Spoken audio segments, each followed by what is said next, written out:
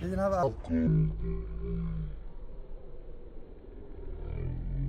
बसमीम अल्लाम आज मेरे साथ मौजूद हैं अख्तर अब्बास ख़ान साहब। अख्तर अब्बास की कहानी कुछ यूँ है कि ये तकरीबन सत्रह साल पहले इन्होंने सहाफ़त का शोबा ज्वाइन किया और इन्होंने मुख्तफ़ टीवी चैनल्स और न्यूज़ एजेंसी के साथ साथ रेडियो पाकिस्तान में भी काम किया है।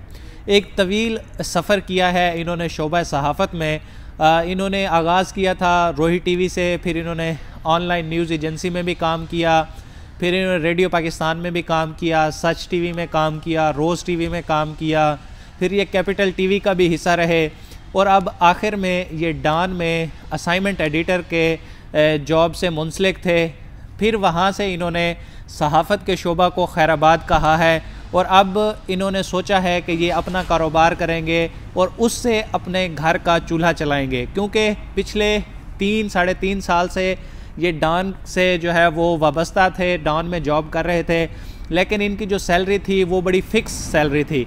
अगर मैं आपको बताऊँ तो वो एक मामूली सी सैलरी है जिस पे ये काम कर रहे थे, क्योंकि जब एक सिंगल पर्सन होता है, फिर उसके लिए तो कोई मसला नहीं रहता कि वो इतनी जो है वो इनकम पे गुजारा कर सकता है। लेकिन जब आपके बीवी बच्चे हों, आपने बच्चों के अखराज उठाने हों, फिर मुस्तबिल की भी फ़िक्र होती है तो इस सारी सूरत हाल में जब इन्हें लगा कि अब इस जॉब से मेरे घर का गुजारा मुमकिन नहीं है और जो है इसमें ये अपने बच्चों का एक बेहतर मुस्तबिल नहीं देख रहे थे तो इन्होंने ख़ुद ही डांस से रिज़ाइन किया। और अपना काम धंधा स्टार्ट किया और इन्होंने अब ड्राई फ्रूट का बिज़नेस स्टार्ट किया है। तो इनकी कहानी मैं इनसे जानता हूँ कि आखिर सत्रह साल सहाफ़त के बाद जब मतलब इतनी एज के बाद तो लोग सोचते हैं कि अब मैं इसमें काफ़ी तजर्बाकार हो चुका हूँ और इसमें मुझे रहना चाहिए क्योंकि एक उम्र दी है मैंने, इसको तकरीबन दो दिहाइयाँ इन्होंने सहाफ़त को दी हैं। उसके बाद ये क्यों मजबूर हुए? कि ये डान जैसे इदारे को छोड़ के और ये जो है वो सहाफ़त से अपने आप को लाताल्लुक़ करके सहाफ़त को छोड़ कर ये एक दूसरी तरफ़ पे चल निकले हैं। अस्सलाम वालेकुम अख्तर भाई। वालेकुम सलाम इमरान भाई। पहले तो हम आपको गुड लक कहेंगे आपके इस नए वेंचर में जो आप करने जा रहे हैं। थोड़ी सी आप अपनी कहानी बताएँ कि कब आपने जर्नलिज़म स्टार्ट की और किस किस दौर से गुज़र के अब आप इस फैसले पे आए हैं कि आपको जो है वो जर्नलिज़म छोड़ना पड़ा। दुखी तो होंगे आप? बिल्कुल इसमें कोई शक नहीं है क्योंकि जर्नलिज़म जो है मेरा पैशन था। और मैंने एक पैशन के तौर पे इस फ़ील्ड को लिया हुआ था। मैंने 2004 से स्टार्ट लिया था ऑनलाइन न्यूज़ एजेंसी से। उसके बाद रोही टीवी का ऐड आया और रोही टीवी में चला गया 2006 में, नवंबर 2006 था। वहाँ पे तवील अरसा रहा 15 अगस्त 2013 तक फिर रोही टीवी बंद हो गया था। उसके बाद मैं साज टीवी चला गया। साज टीवी कुछ अरसा काम किया। फिर रोज़ टीवी में मौका मिला। वहाँ शिफ्ट इंचार्ज के तौर पे काम किया। फिर उसके बाद कैपिटल टीवी में हम, वहाँ अब हम दोनों साथ ही थे। तो उसके बाद जनाब रेडियो पाकिस्तान में मैंने काम किया। फिर लकीली तीसरे इदारा रोही में भी हम इकट्ठे थे। बिल्कुल। तीसरा इदारा डान न्यूज़ था जिसमें हमने इकट्ठे काम किया। तो ये जो फ़ैसला है मेरा मैंने बड़ा सोच विचार के बाद ये फ़ैसला लिया है।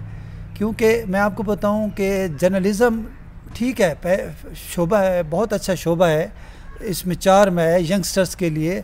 लेकिन क्योंकि ये कारोबार नहीं है ये एक पैशन है। पैशन के तौर पर आप फ़ील्ड इस फ़ील्ड में रह सकते हैं।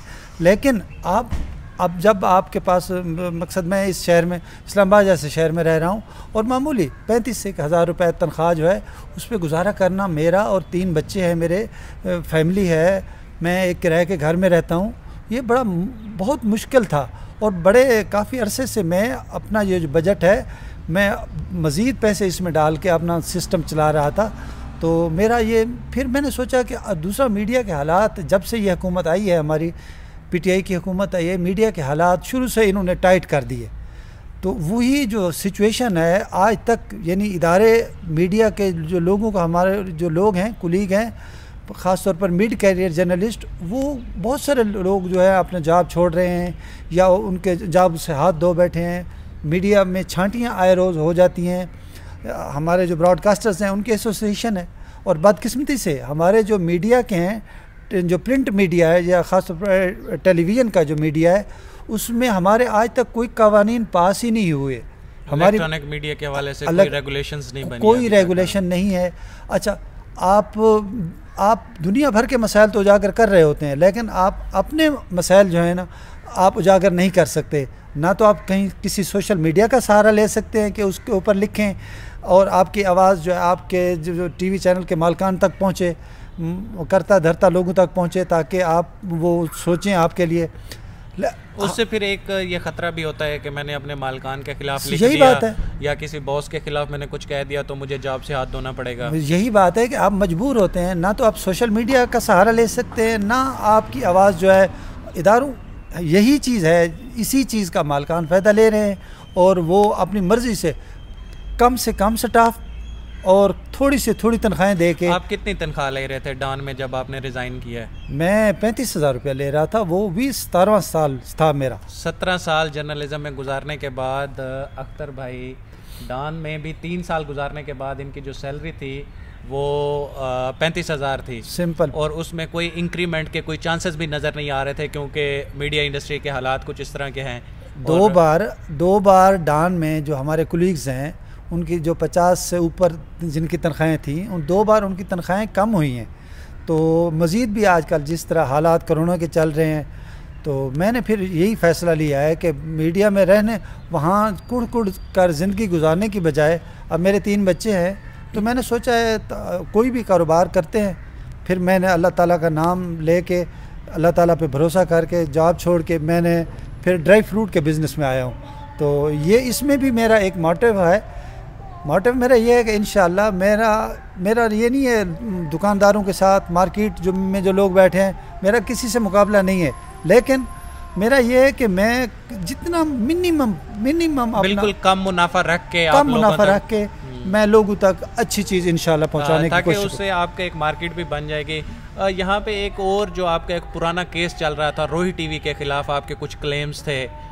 जब जहांगीर तरीन उसके मालिक थे आपने एक लंबा केस भी लड़ा तो कितने आपके कानूनी तौर पे कितने क्लेम्स बनते थे जो आपको नहीं मिले और केस पता नहीं कहाँ का, कहाँ गया? उसकी ज़रा स्टोरी शेयर करें। वो इस तरह था कि वो जब रोही टीवी में हमें 2006 से लेकर 2013 तेरह में जब उन्होंने हमें वेव ऑफ़ कर दिया सब के हमारे जॉब ख़त्म कर दिए तो फिर मैंने एक केस किया एन आई आर सी वहाँ पर यहाँ इस्लामाबाद में। लेकिन दो साल के बाद जज साहब ने मुझे ये बताया कि आप तो आपका तो यानी कवानीन ही नहीं है। आपका केस बनता है आप हम नहीं सुन सकते। अच्छा। जज दो साल पेशियाँ भुगतता आ रहा उसके बाद क्योंकि वो चैनल के मालकान आपके पास जहांगीर तरीन साहब थे।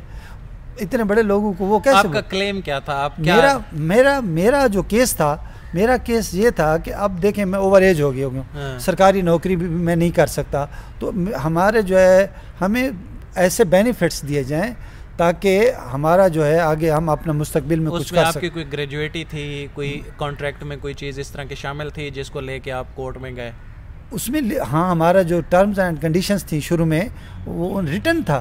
लेकिन इन्होंने अचानक 2013 में आके रोही टीवी उन्होंने बंद कर दिया और एक एक माह की सैलरी दे के सिर्फ़ एक सिर्फ़ और उसमें कोई आपको ग्रेजुएटी नहीं मिली। कुछ भी नहीं मिला किसी को भी नहीं मिला। सिर्फ़ एक माह की तनख्वाह सबको दिए और पूरे इस्लामाबाद इस्लामाबाद लाहौर मुल्तान कराची जहाँ जहाँ भी हमारे रोही टीवी का स्टाफ था उन सबको इन्होंने वेव ऑफ़ करके रोही टीवी चैनल ही बंद कर दिया। अख्तर भाई की आपने कहानी सुनी कि सत्रह साल सहाफ़त में गुजारने के बाद अब ये मजबूर हो गए कि ये अब साइड बिज़नेस स्टार्ट करें और कोई काम धंधा इस तरह का करें कि उनके घर वालों का जो है वो सर्कल बड़े अच्छे तरीके से चल सके। और ये सिर्फ़ इनकी कहानी नहीं है। हमारे जो मीडिया में आ, काम करने वाले तकरीबन 80 परसेंट लोगों की यही कहानी है कि उनका गुज़र बसर इसी तरह से हो रहा है। कुछ लोग हैं जो आ, हाई पोस्ट पे बैठे हैं जो एंकर्स हैं तो वो या फिर जो पुराने सहाफ़ी हैं उन्होंने अगर आप कहते हैं कि उन्होंने माल बनाया है कुछ किया है